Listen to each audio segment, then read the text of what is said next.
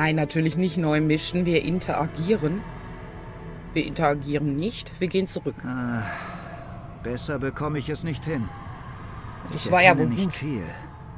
Das Blut von dreien, die Seele des einen. Was soll... Himmel, was ist das? Was geschieht hier? David! Ein Traum in einem Traum. Bleiben Sie bei mir. Ein Traum in Gemeinsam einem- tun können. Nein! Er darf nicht wiederkehren! Komm zurück! Komm zurück!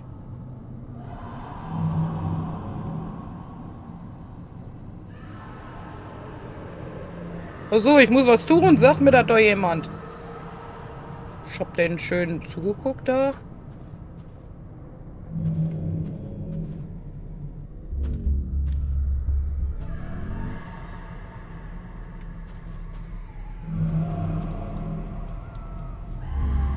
Okay, der eine hatte da was am Arm.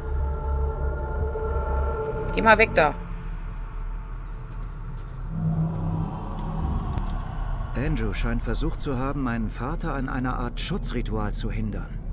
Konnte Ihr Vater es vollenden? Weiß ich noch nicht. Okay, die zweifelt auch nicht mehr die Worte von dem an, ne? Ist alles jetzt total normal. Können Sie sie sehen? Sehen Sie meinen Vater? Kaum, nur im Augenwinkel. Gehen Sie voran, ich folge nach. Nur im Augenwinkel? Dann dreh den Kopf doch mal.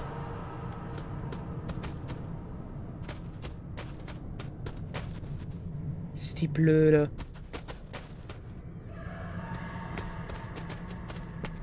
So, Moment, was ist denn jetzt hier mein Quest? Kunzias Dorf, immer noch das gleiche. Wir sind keinen Schritt weiter. Wir sprechen. Merl, Rory! wir sprechen nicht. Schutzzauber, ja. Können wir jetzt hier noch irgendwas tun? Nicht, dass ich jetzt hier wieder rausrenne. Ich guck noch mal.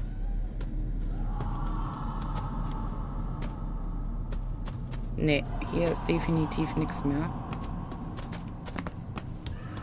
Aber Inventar, wir haben ja auch dieses Stückchen jetzt nicht von der Karte, oder? Oh, wir haben das Ding noch nicht eingesetzt. Ich hoffe, das dürfen wir noch. Sonst wäre dumm.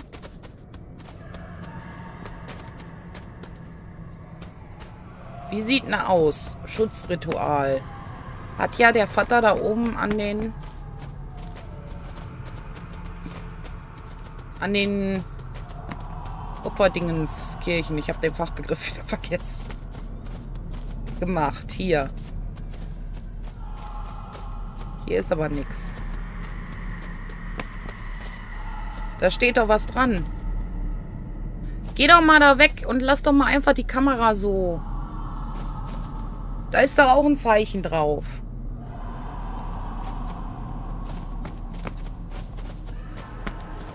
Check ich nicht.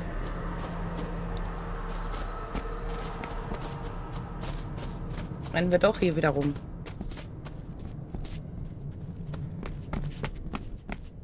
Du entkommst mir nicht! Nicht mehr! Okay, es ist hell. Nicht der Junge! Ja!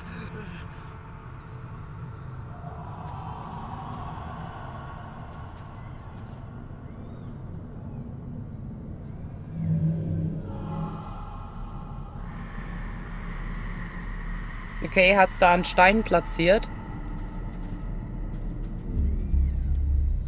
Ja, ja, ich bin... Ich möchte auch raus aus deinem Radius da.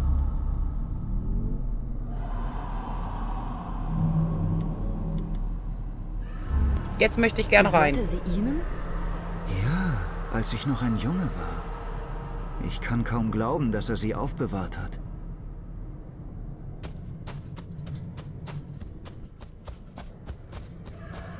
Hier ist eine Abkürzung. Gehen Sie vor. Na klar.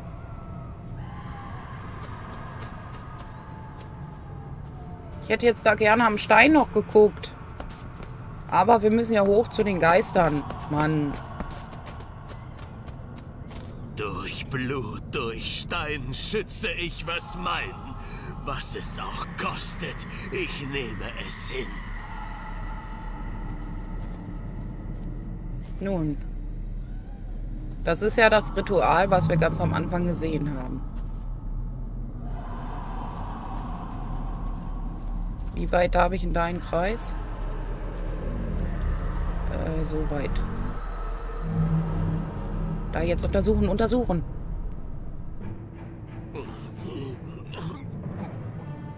Ich entsinne mich, das haben wir gesehen. Schluss damit! Sofort!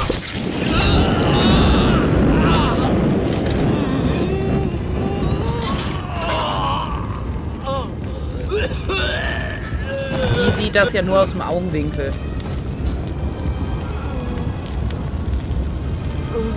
Leb wohl, mein Sohn.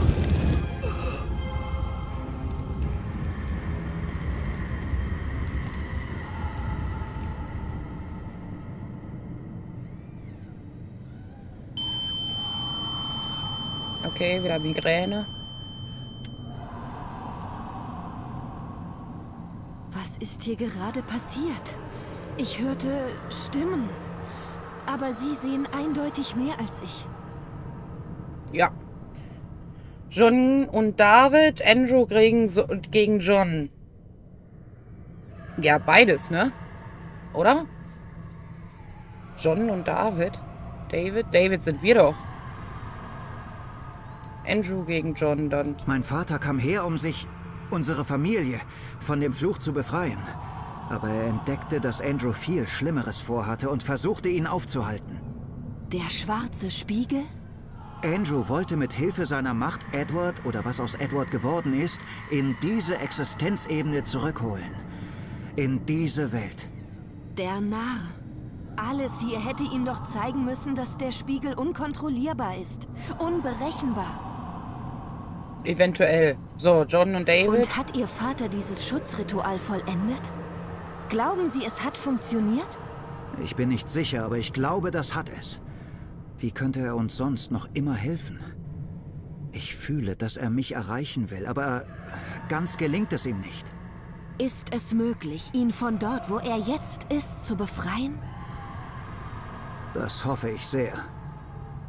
Ja, aber das ist doch eine scheiß, äh, scheiß, äh, Scheißaufgabe. Äh, Scheißentscheidung. Wir haben doch gerade gelernt, dass die da sich verändern und der Vater vielleicht auch nicht mehr der ist, wer der mal war. Wir müssen Rory holen und zurück zum Schloss, bevor Andrew den Eingang findet. Ja. Wenn es nicht schon zu spät ist. Und wir müssen die anderen warnen.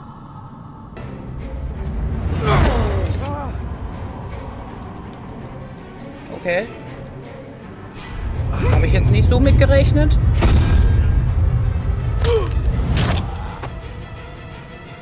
Äh.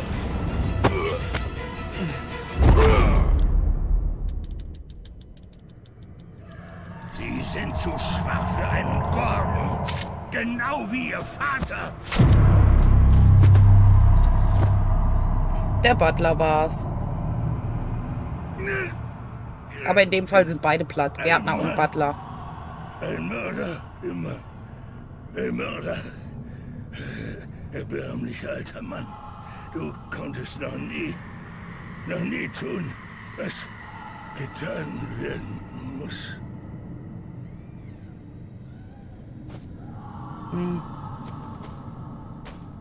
Achso, du bist tot.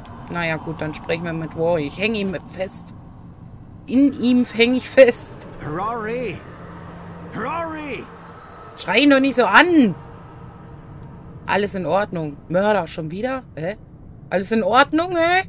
Geht's dir gut mit dem äh, Bauchstecher, den du da abgekriegt hast? Sind Sie verletzt? Lassen Sie mich mal sehen. Sind Keine sie Sorge, verletzt? Mädchen. Mir geht es gut. Was hat Angus gemeint? Dass Sie ein Mörder sind? Er hat nicht nur von sich gesprochen, oder? Nur das Gefasel eines Sterbenden. Schluss mit den Ausreden. Sie wollen unser Vertrauen? Dann seien Sie ehrlich. Ei, ei. Schon gut. Es war vor langer Zeit. Ich war nicht der, der ich heute bin. Ich... Ich war jähzornig und ich trank. In dieser Nacht wurde ich wütend und Gott... Gott vergib mir. Ich tötete meine Frau und mein Kind. Und die Gordons, sie... Sie haben es vertuscht. Genau so war es. Okay. Das ist nicht so nett. Darum arbeiten Sie all diese Jahre hier. Wegen dieser Schuld. Ich bin ein eigennütziger Mann. Hab mich hier versteckt aus Angst. Die Gordons zeigen mich an. Und Edward? Wussten Sie es? Ich wusste es. Ich wusste, was er tat. Aber ich war zu feige, um etwas zu unternehmen. Die Stimmen, die Sie vorhin hörten, war das Ihre Frau? Sie und Cecilia. Ei. Andrew. Ich glaube, er ist Edwards Sohn. Was? Unmöglich, nein. Kann nicht sein. Er ist Was ist er, Rory? Cecilias Kind. Ich ließ sie ihn weggeben. Ich wusste, wir hätten ihn besser umgebracht. Sie gaben Cecilias Baby weg? Was war mit Ihrem Mann? Oh, Edward hatte sich längst um ihn gekümmert. Aha. Wir müssen zurück. Könnt ihr mir aufhelfen? Bringt mich zurück ins Gewächshaus. Ich muss euch etwas zeigen. Okay, so am Arsch ist er noch gar nicht, muss ich sagen, dafür, dass der so ein Messer im Bauch hatte.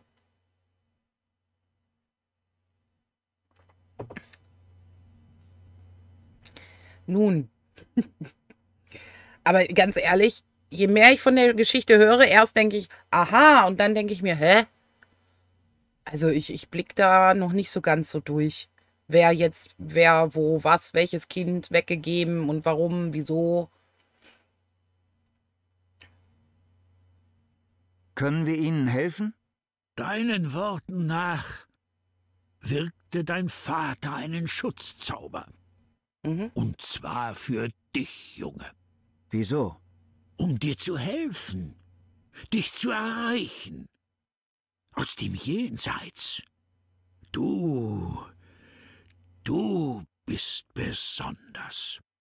Du hast möglicherweise die Macht eines Hochdruiden. Einer mit einer mächtigen Verbindung zu den Geistern. Was tut er da? Es ist dasselbe Symbol, das mein Vater machte, bevor er sich umbrachte. Psst. Gib mir deine Hand.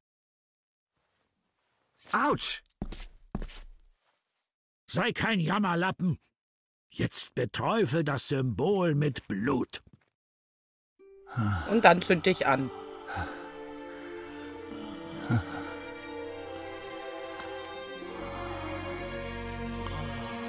Vater.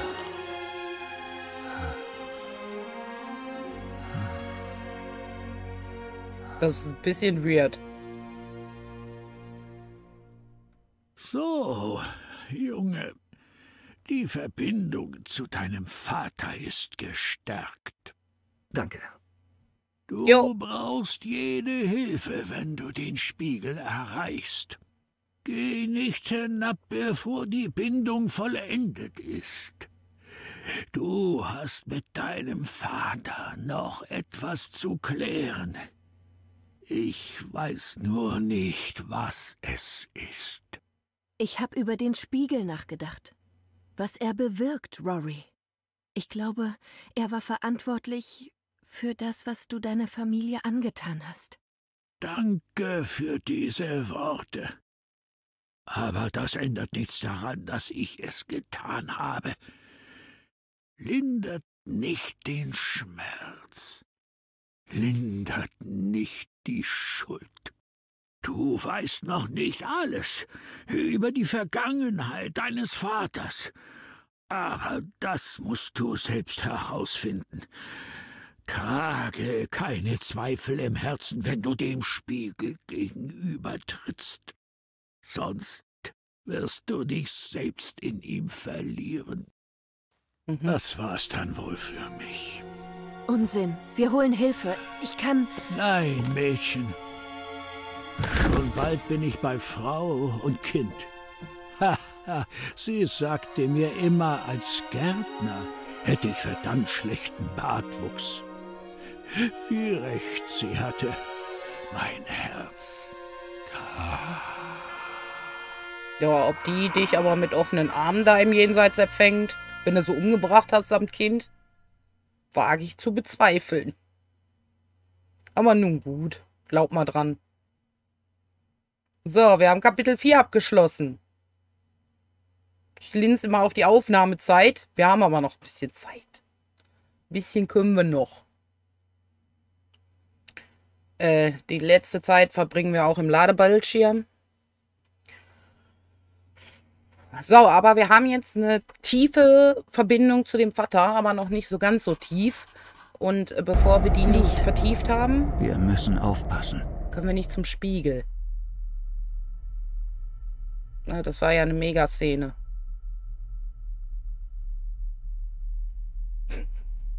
Das Spiel macht mich fertig.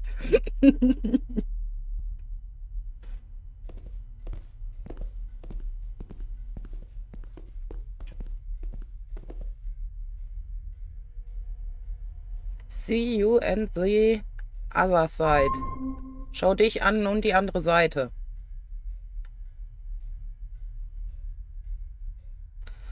Sind sie verletzt? Wo ist Andrew? Wir fragen mal, ob sie verletzt ist, weil das da ja mit Blut dran geschrieben ist, glaube ich. Es ist nicht ihr Blut. Hier, ich helfe Ihnen. Geht schon, danke. So, ja gut. Wenn es dann geht, dann wo ist denn Andrew? Andrew, wo ist er? Er hat Eddie geholt. Ich wollte ihn aufhalten, aber er schlug mich. Mich. Er war völlig von Sinnen. Ich begreife nicht, was hier vor sich geht. Erst Eddie und jetzt Andrew. Ja, das ist äh, hier der Spiegel, ne? Es ist das Haus. Der Fluch, der auf uns liegt. Durch das Böse, das unter diesem verdammten Ort lauert. Der schwarze Spiegel. Unsinn.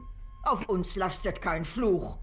Wir haben vielleicht ein paar Tragödien erlitten, wie jede große Familie. Aber das Herz eines Menschen kann böse sein, ohne dass ein Fluch oder... Ach, zumindest darin sind wir uns einig. Vor allem ein Herz. Das meines Großvaters, ihres ach so geliebten Edwards.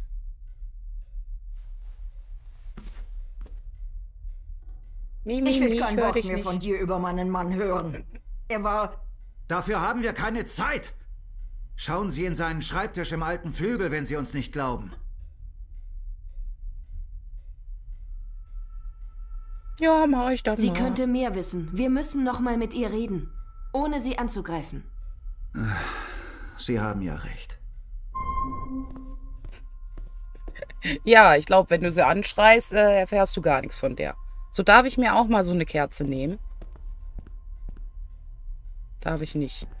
Aber ich darf hier untersuchen. Wir sehen uns auf der anderen Seite.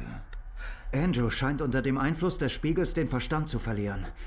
Wir müssen ihn aufhalten, bevor er Edwards verdorbene Seele in diese Welt zurückholt. Ich kann wirklich kaum fassen, was an diesem seltsamen Ort geschieht.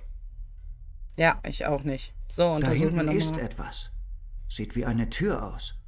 Eine Tür? Wohin? Das müssen wir herausfinden. Andrew will eindeutig, dass wir ihm folgen. Hauptsächlich, dass Sie ihm folgen, vermute ich. Ja, mit anderen Worten, kann's hier bleiben, oder was? Ähm, drücke. Funktioniert nicht. Funktioniert nicht. Funktioniert nicht. Funktioniert nicht.